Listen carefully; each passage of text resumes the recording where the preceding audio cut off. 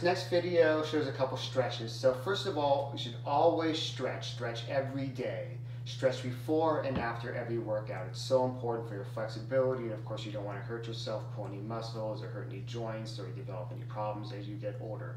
So first of all, stretch your arms out along the side. Uh, extend them out straight. Your legs should be together and your toes pointed forwards. And turn your arms forward in short circles.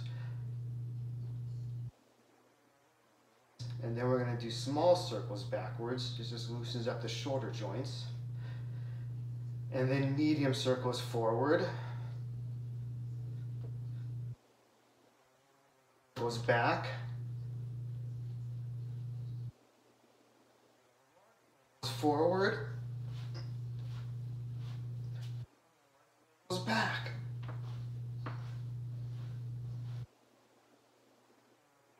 These exercises, I'm doing them quickly for brevity, but you can do all of these longer. In fact, the longer you do many of these stretches and loosening up your joints, the better. Now I've moved my camera down to the next level box so you can see better. So what I'm going to do now is some leg stretches which you may be familiar with. So first of all, uh, legs, uh, knees locked together, toes pointed forward, legs straight, reach down and touch the ground, and just hold it for several seconds touch your toes. You can also grab behind your ankles, your Achilles heel, and pull. So you want to pull your forehead to your knees.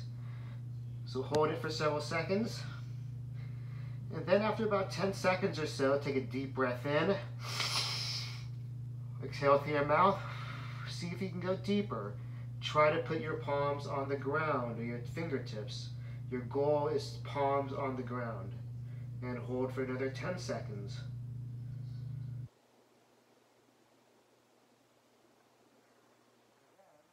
Last stretch for this video.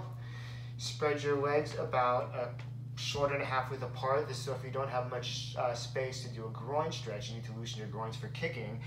You're gonna bend your knees, grab your ankles, again your toes are pointed forwards, and thrust, as you can see here, your uh, pelvis in and out. This is to stretch the groin muscles here. Now this looks very, very funny, so do not let anyone film you or, you know, uh, just watch you at all. Okay, so you're to do this about 50 times. So thrust your, uh, your hips in and out to stretch the groin uh, muscles. So again, at least 50 times. And again, all these exercises you should, in stretches, you should be increasing the number uh, of uh, reps you do or the length of time you do your stretches. I can take 30 minutes easily stretching every day. For this first video.